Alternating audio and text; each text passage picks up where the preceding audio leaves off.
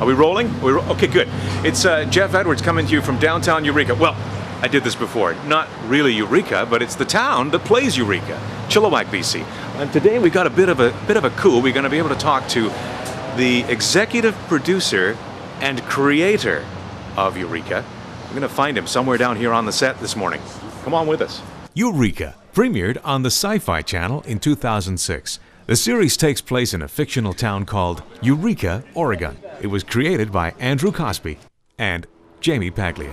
Jaime, how are you doing? I'm doing great. Executive producer, creator of the series, writer on the series. Um, well, it's it's pretty much the coolest job ever. I mean, as you can see behind us, we're limousines, we're blowing things up. It's uh, it's pretty, it's it's, it's a, an amazing opportunity, really. Where were you before this series took off? What were you Oh man, I started off in feature film publicity at MGM Pictures, and um, I had been writing in college, and then uh, was working for a producer in development for a while, and then uh, I became more frustrated with the process, went back to writing, and uh, with a partner of mine, I sold a feature film, and then that led to another feature, and then that led to Eureka. So it's sort of been my full-time job for about seven years now. Seven years seems to be kind of a magic number. If you can, if you can hang on for seven years, is that is that sort of the way you see it in the business too? Um, it certainly takes time. I mean, I think that uh, I was uh, writing a lot and uh, learning the you know how the industry worked from the inside out. And it took the first job I got, which was as a you know production assistant, sort of in uh, publicity assistant in feature films, and um, that gave me at least a, a kind of a gauge on how everything was working. But I was always right, and it uh, ultimately. Um, I had more opportunities because I was meeting people and trying to figure out how everything worked.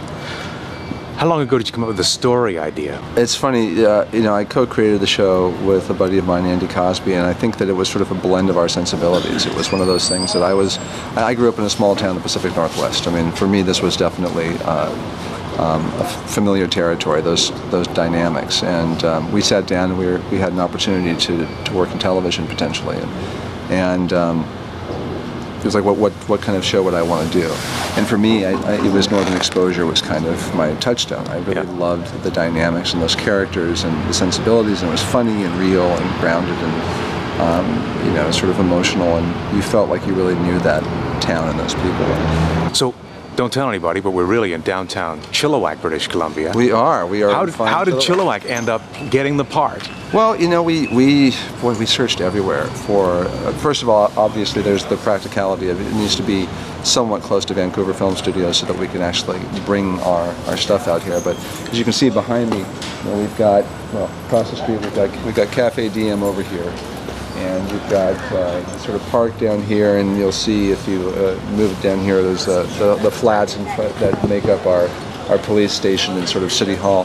Those things we have to truck in every time, as you know, Yeah. uh, when we come down here, and that's no small expense. So it has to be something that's transportable for us. Um, so we, we looked at, at, at towns all over the place, but we wanted something that had, um, you know, vistas of mountains in the background that would really give you that Pacific Northwest feel, and a nice sort of central town square kind of feel to it, even though we're kind of building it up a little bit. Um, so uh, Chilliwack, that was okay. Man, thanks so much for doing this. I know you're really Hey, thanks busy, and, and I don't want to keep you from your lunch any longer, but uh, No, it's my pleasure pleasure. meeting you. You too. Thanks. Bye, guys.